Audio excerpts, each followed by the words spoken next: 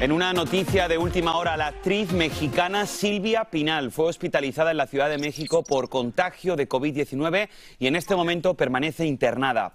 Su hija Alejandra Guzmán dijo que la llevaron al hospital por una hipotensión, además de una frecuencia cardíaca más baja de lo normal. Pero posteriormente se le diagnosticó el contagio de COVID-19 a pesar, ojo, esto es importante, de estar completamente vacunada. La actriz de 90 años en este momento se encuentra estable y completamente consciente. Por supuesto, vamos a monitorear su estado de salud y desde aquí le deseamos una muy pronta recuperación. Ojalá que toda la familia Pinal pueda pasar juntas estas fechas navideñas.